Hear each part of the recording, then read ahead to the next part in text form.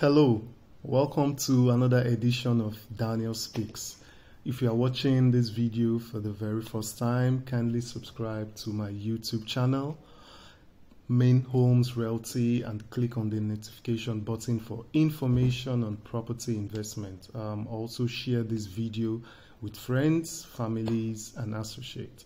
So, the Dangote refinery at um, Ibeju-Lekki, Lagos was inaugurated today.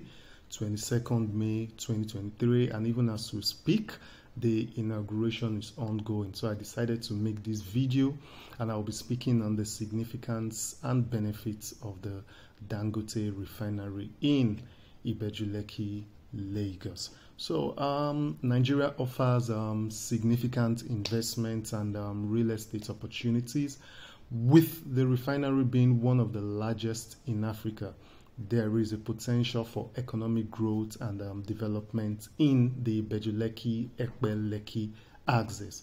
So, um, investment wise, um, Dangote Refinery presents opportunities um, for both local and um, international investors.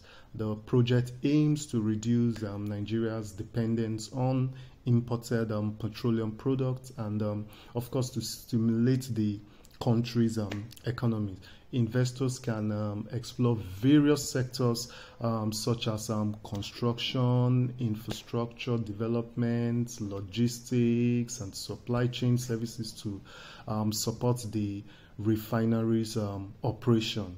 Additionally, um, there may be opportunities for investments in um, ancillary industries like um, the petrochemicals, fertilizers, and um, power generation companies. Now, um, in terms of um, real estate, you might be wondering what benefit does it bring? So, um, the development of um, Dangote refinery is um, expected to drive demand for residential, um, commercial, and industrial properties in Ibeju-Lekki and its um, surrounding areas.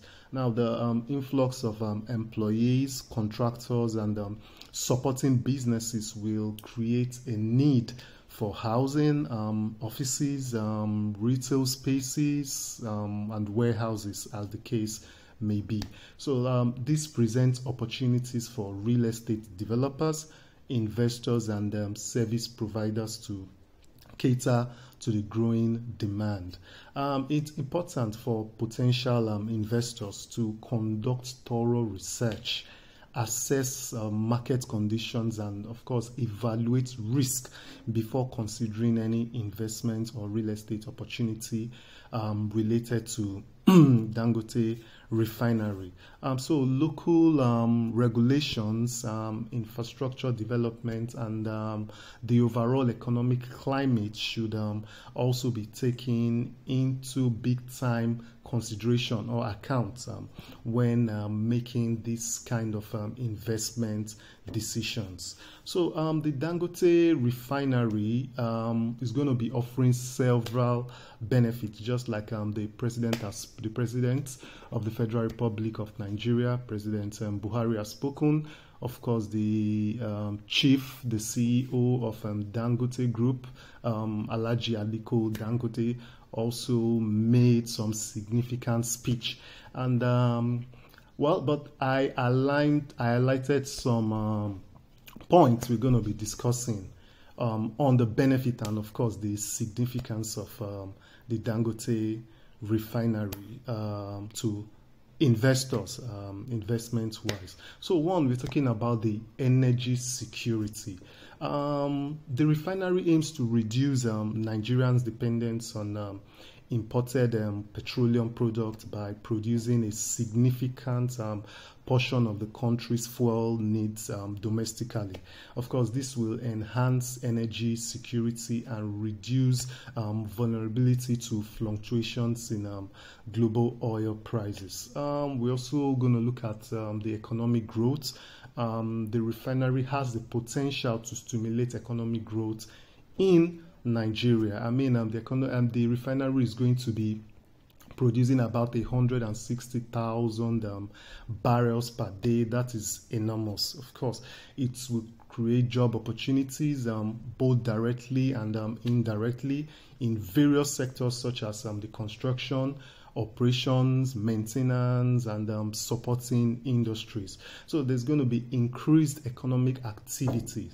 And also, um, it's going to alleviate poverty in some sense. When there's employment, when the employment rate reduces in a country, obviously the there's going to be a poverty reduction of course, in the country and um, overall development. Of course, um, we're also going to talk about um, the foreign exchange savings. Yes, this has been bothering a lot of Nigeria. So, um, Nigeria, being a major oil importer, spends a significant amount of um, excuse me, of foreign exchange on importing refined petroleum products. This is not a news anymore because Everybody knows this. So now, with the um, Dangote refinery producing a substantial portion of the country's fuel requirements locally, it can save valuable foreign exchange reserves, which can be utilized for other developmental purposes. Of course, when properly managed by the government and other related agencies. Um, not forgetting the downstream sector development. Yep. The refinery supports the development of the downstream oil and gas sector in Nigeria. It will encourage investments in um, ancillary industries, just like I've mentioned before, um, such as the petrochemicals, the plastics industry, and um, other value added products, leading to the creation of a robust industrial ecosystem.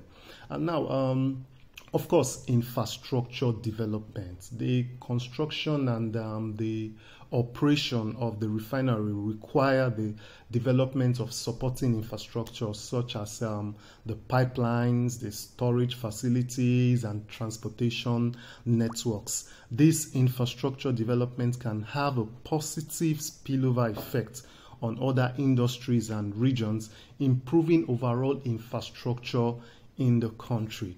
And um, something also came to my mind, of course, why not the use of technology? That's where um, technology transfer comes in.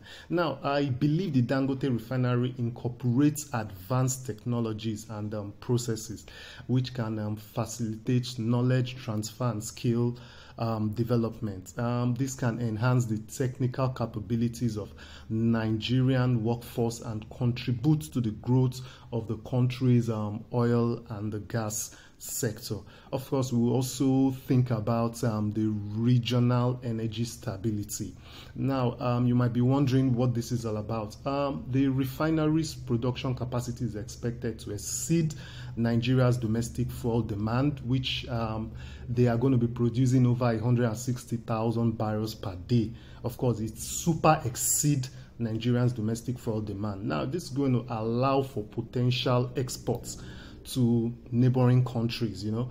So um, it was said that the excess, which is going to be 40% from the 100% production, it's going to be used for, um, it's going to be exported to neighboring countries. Now, this can promote regional energy stability. Um, reduce reliance on um, distant um, suppliers and enhance regional cooperation and trade. Um, some of the fears of people was also um, the environmental impact. Now, yes, we've seen what has happened in the South South states like um, um, um, Bayelsa. We've seen what has happened in states like Delta States, Warri. Now, um, what are the environmental implications? What is the Dangote refinery going to do about this? So, the refinery aims to incorporate best um, practices in environmental management. So, I, I believe it has implemented measures to minimize um, emissions, um, reduce pollution, and ensure sustainable operations. Um, I believe their commitment to environment responsibility would also pave way to a cleaner and a healthier environment. So overall, um, the Dangote refinery's benefits include um, improved energy security, um, economic growth, um, foreign exchange savings, um, the downstream sector development, um, infrastructure development, technology transfer. We also talked about the regional energy stability and, of course, um, environmental stewardship. So, thank you for watching. You can also comment, like, and share this video as it can help others. So, till we meet again, kindly remember to subscribe to my YouTube channel at Main Homes Realty. Click the notification button. Have a blessed day. I remain my humble self, Daniel Odile. Cheers.